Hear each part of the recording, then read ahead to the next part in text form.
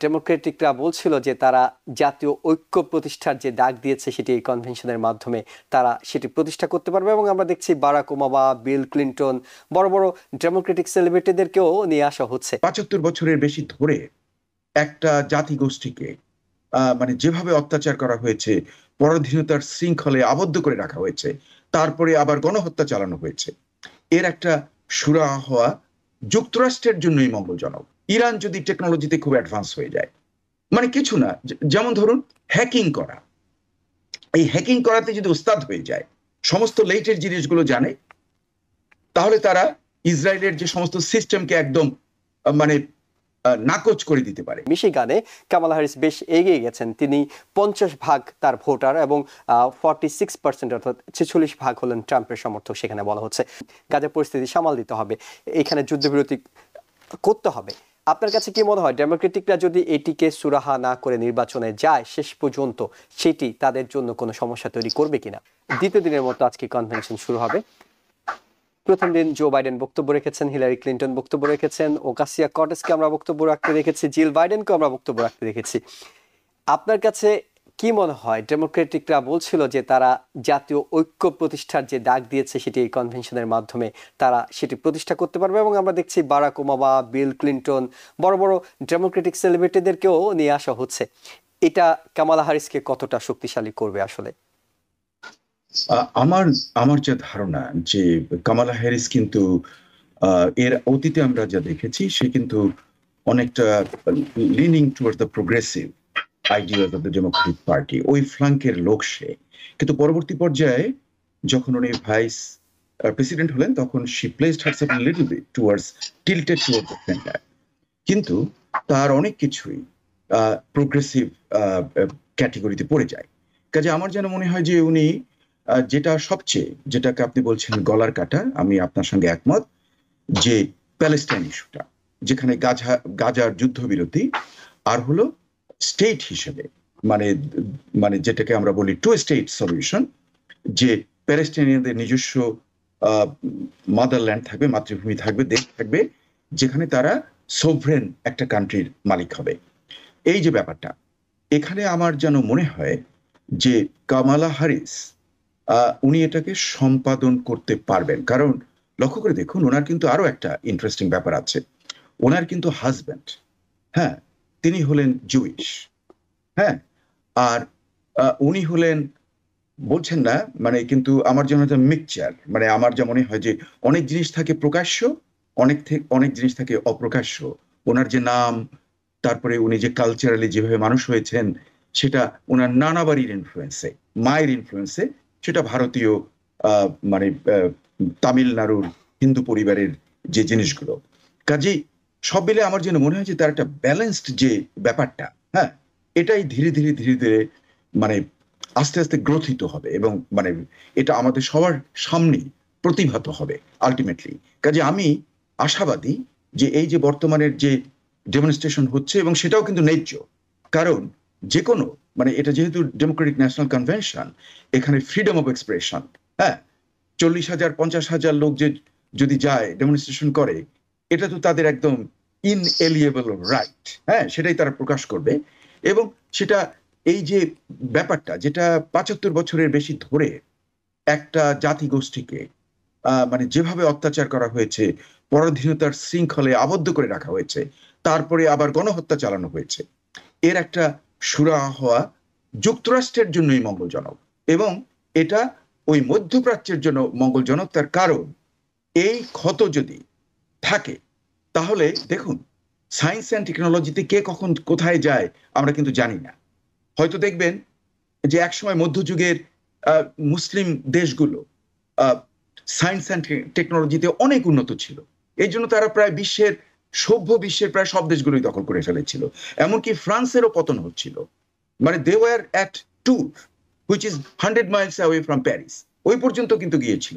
তার কারণ, বিজ্ঞান এবং প্রযুক্তিতে তারা উন্নত ছিল। কাজেই সামনের পৃথিবীতে কে যে কোথায় যায়, বিশাল মানে অ্যারাব পপুলেশন তার মধ্যে হয়তো এবং ইরানিয়ানস তুরস্ক এই এই যে বিভিন্ন তিনটি প্রধান ইসলামিক জাতিগোষ্ঠী, এরা কে কোথায় কোন উন্নতি করে, আর বর্তমানে টেকনোলজি কিন্তু অনেকটা ইনফরমেশন টেকনোলজি হ্যাঁ? সেজন্য আপনি একটা বড় একটা ল্যাবরেটরির প্রয়োজন হয় না। কম্পিউটার ইজ এনাফ কাজেই এই যে লজিস্টিক্স এর সুবিধার জন্য কে কোথায় কোন জিনিসে উন্নতি করে তা বলা যাবে না, এবং সেটা যদি এই প্রবলেমের সলিউশন এখন না হয়, তাহলে সামনে চিন্তা করে দেখুন, ইরান যদি টেকনোলজিতে খুব অ্যাডভান্স হয়ে যায় মানে কিছু না যেমন ধরুন হ্যাকিং করা। এই হ্যাকিং করাতে যদি উস্তাদ হয়ে যায়, সমস্ত লেটের জিনিসগুলো জানে, তাহলে তারা ইসরায়েলের যে সমস্ত সিস্টেমকে একদম মানে নাকচ করে দিতে পারে। কোনো মানে অকেজো করে দিতে পারে। আপনি বলছেন যে টেকনোলজির বাহাদুরিতে যুক্ত আমেরিকা এবং ইসরায়েল তারা এখন মধ্যপ্রাচ্যের বিভিন্ন দেশের উপরে নানা ধরনের প্রভাব বিস্তার করছেন। এই এটি আসলে তাদের জন্য বুমেরাং হতে পারে যদি এই বিদ্বেষের সংঘাতটাকে অবিলম্বে শেষ হ্যাঁ। করা না হয়। সেটি হয়তো যদি না হয় তাহলে এটা এটা রিভার্স করে সম্ভাবনা রয়েছে। হ্যাঁ কবে হবে কি হবে আমরা জানি না। কিন্তু রিভার্সের সম্ভাবনা রয়েছে। কারণ একটা পপুলেশন যখন ডেসপারেট হয় তখনই তারা কিন্তু নতুন নতুন আবিষ্কার করে। এবং করে তারা কিন্তু এটা আমরা ইউরোপে দেখেছি। মুসলমানরা এত উন্নত ছিল কিন্তু রেনেসাঁসের পরে মুসলমানরা শেষ। অনেক দূরের কথা বলছেন ভবিষ্যতের কথা বলছেন। আর আমরা বলছি যে এই নির্বাচন যেটি পাঁচই নভেম্বর নির্বাচন সেই নির্বাচনের আগেই কিন্তু এই বিষয়টা একটা সুরহা ডেমোক্রেটিকরা তাদের নিজেদের স্বার্থেই করতে হবে। না হয় কিন্তু যদি আমরা গতকালকে দেখেছি সৈয়দ মোহাম্মদুল্লাহ আপনাকেও এই প্রসঙ্গে একটু যুক্ত করতে চাই সেটি হলো গতকালকে আমরা নিউ ইয়র্ক টাইমস এর একটি জরিপ দেখেছি যেখানে বলা হচ্ছিল যে মিশিগানে কামালা হ্যারিস বেশ এগিয়ে গেছেন। তিনি পঞ্চাশ ভাগ তার ভোটার এবং ফর্টি সিক্স পার্সেন্ট অর্থাৎ ছেচল্লিশ ভাগ হলেন ট্রাম্পের সমর্থক সেখানে বলা হচ্ছে। মিশিগান অনেক বড় করে আলোচনা ছিল, বিশেষ করে এই গাজা পরিস্থিতি তৈরি হওয়ার পর থেকে। এইভাবে এটা কি আসলে ডেমোক্রেটদেরকে কনফিডেন্স বাড়িয়ে তুলবে যে গাজা পরিস্থিতি কোনো একটা সমাধান না করেও তারা নির্বাচনে যেতে পারবে? নাকি কালকে ওকাসিয়া কটাস কিন্তু বলছিলেন যে গাজা পরিস্থিতি বিষয়ে এই ডেমোক্রেটিক কনভেনশনে তিনি বলছিলেন গাজা পরিস্থিতি সামাল দিতে হবে, এখানে যুদ্ধবিরতি করতে হবে। আপনার কাছে কি মনে হয়, ডেমোক্রেটিকরা যদি এটিকে সুরাহা না করে নির্বাচনে যায়, শেষ পর্যন্ত সেটি তাদের জন্য কোনো সমস্যা তৈরি করবে কিনা? সুরা না করে সুরা হ- হ- এরা করছে না, হবেও না, এক নম্বর। প্রফেসর মুস্তাফা সরোয়ারের মানে ব্যাপক আলোচনা, খুব মূল্যবান আলোচনা, তার অপিনিয়নকে আমি খুব শ্রদ্ধা করি। তিনি ওয়েল ইনফর্ম পার্সনস এই ক্ষেত্রে কতগুলো বিষয়ে আমি দ্বিমত প্রকাশ করব। একটা কথা হচ্ছে যে Kamala Harris only so far she can go যুক্তরাষ্ট্রে ইসরায়েলের ইনফ্লুয়েন্স এতটা, এটার মানে মিলিটারি ইন্ডাস্ট্রিয়াল কমপ্লেক্সের উপরে, দেশের সব কিছুর উপরে, রাজনীতির উপরে ক্ষমতার সব সমস্ত লিভারগুলোর উপরে তাদের প্রভাব অতটা যে তার প্রভাব মুক্ত হয়ে অত্যন্ত স্বাধীনভাবে বা তাকে মানে তাদের ডিকটেশনের বাইরে এসে কিছু করতে পারবে, ইসরায়েলের স্বার্থের বাইরে এটা সম্ভব হবে না। এক করবেও না তারা, করতে পারবে না, করলে যে ইনি প্রেসিডেন্ট হবেন না এবং প্রেসিডেন্ট হলে তার অবস্থা খারাপ হবে, তার পুরো সিস্টেম এই একটা। দুই নম্বর হচ্ছে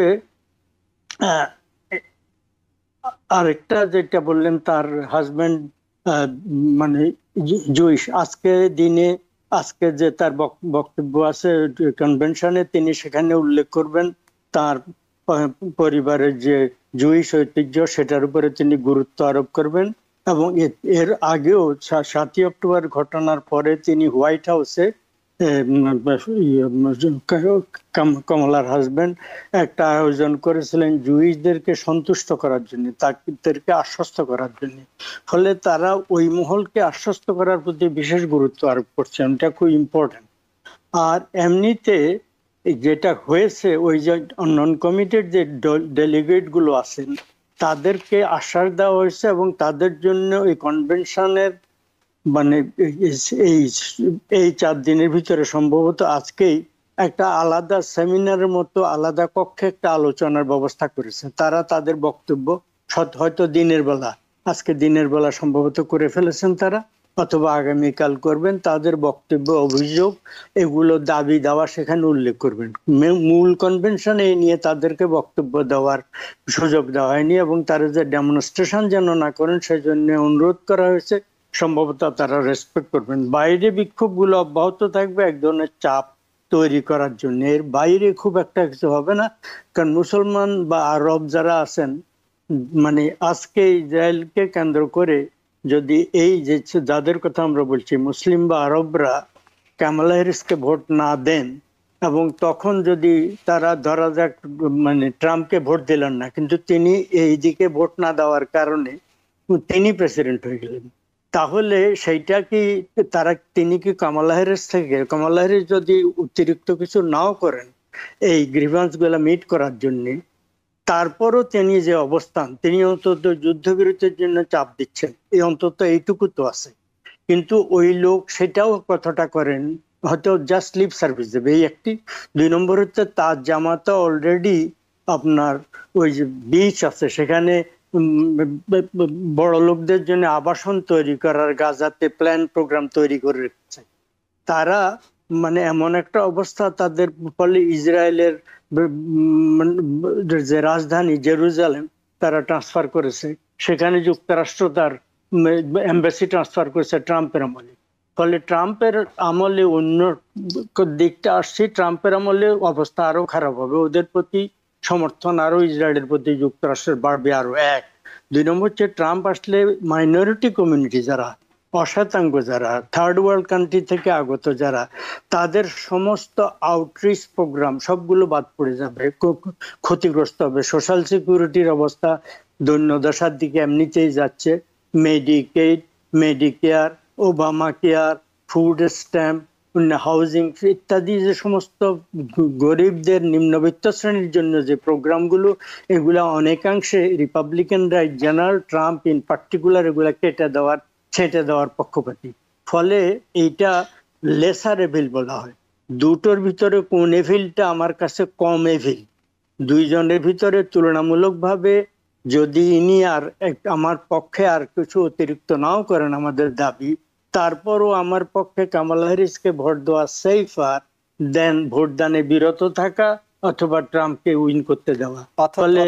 জলে কুমির ডাঙায় বাঘ এমন একটা অবস্থা দেশের মুসলিমদের। তারা আসলে কোন দিকে যাবেন এইটা নিয়ে কোন দিকে তারা এটা নিচে ওয়ে করছেন ফলে তারা ভোটদানে বিরত থাকবেন বা তার বিরুদ্ধে ভোট দেবেন বা ট্রাম্পকে ভোট দেবেন। অধিকাংশ লোক সেটা করবেন না বলে আমার ধারণা। এইটা হচ্ছে জেনারেল মানে আমার অ্যাসেসমেন্ট আর ও ওকে থ্যাংক ইউ অনেক ধন্যবাদ সৈয়দ মাহমুদুল্লাহ। নিউ ইয়র্ক থেকে সম্প্রচারিত টিভিএন টোয়েন্টি ফোর টেলিভিশন বিশ্বজুড়ে বাঙালির কণ্ঠস্বর।